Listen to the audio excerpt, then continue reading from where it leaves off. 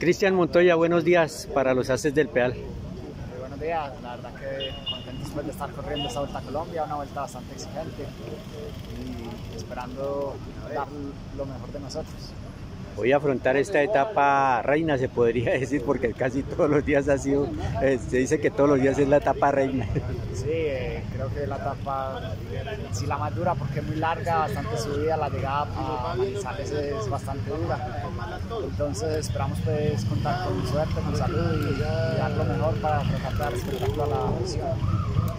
¿Cómo lo ha tratado esta edición 2023? Bueno, ha sido una carrera bastante dura, venía con ilusiones, eh, tuve un comienzo bastante complicado, una caída en la primera etapa. He sufrido un poco en los primeros días, pero creo que vamos cada día mejor. ¿El equipo en general cómo se encuentra?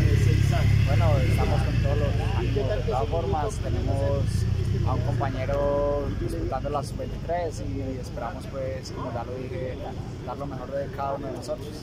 Bueno, muchas gracias por estar aquí en los Haces del. Hasta-